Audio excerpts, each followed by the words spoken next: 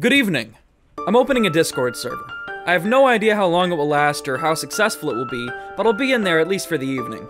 I'll be answering questions and talking about the new Badwater videos upload. This video will probably be unlisted after a short while, so don't be surprised if you can't find it later.